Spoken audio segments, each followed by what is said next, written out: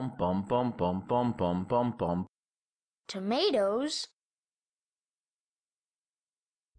Hello, welcome to the video for what is the was input key just pressed or released nodes. Let's run through a quick little example, which is really a quick little example. I will press one of the keys and it will say it was just pressed. And when I let go, it'll tell me it was just released. It is really that simple. Let's go and look at the nodes themselves. The nodes are simple and basic. They're basically going to target a player controller, so we know which controller we want to check the input on, and it's going to check a key. If we unhook the nodes, we're going to find they come out like this. There's one for the input key just pressed, and one for the input key just released. Same settings. Input of a controller, so I'm going to go ahead and grab my player controller. Input of a key, you can either select the key here or you can use a key variable input.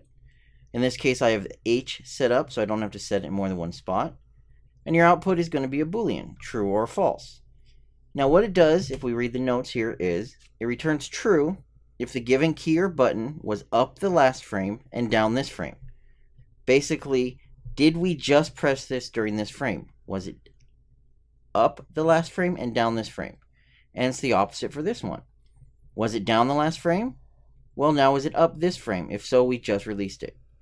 And that is how we get the results that we see. And all I'm doing here is printing out just pressed or just released and then making it disappear after half a second. And that's it. It's a really simple node. I'll push my button. We see that it says just pressed. I'll go ahead and let go.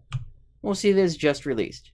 And it doesn't have to wait. We can do button up, down, up, down. It doesn't really matter. All that matters is there is at least a frame difference between the key going down or up and then the key going up or down, the opposite of what just happened. And that's it. Uses for this are if you want to track input without maybe checking on a tick. You just simply want to see was this key recently pressed and then you can do an action based on that. Now something to note. Because this goes through the player controller, we have to make sure that the input is being given to the player controller. If you have your setup, in this case, for example, I'm setting up where I have game and UI, but let's say we change this to UI only. Let's hook this up. And we'll run it with UI only input. Oops, that'd help if I actually selected it. So input key just pressed. We'll go ahead and hit play, and I'll push my keys. Nothing's going to happen. UMG or UI input is not the same as the player or game input. The player controller takes the input when it's set to game mode, and the UI mode will skip player input. So that's something to keep in mind. You would have to do something different or use a different node to check it was down. This targets the player controller, so it needs to make sure the input goes through the player controller. And that's it. Those are our was input key just pressed and was input key just released nodes.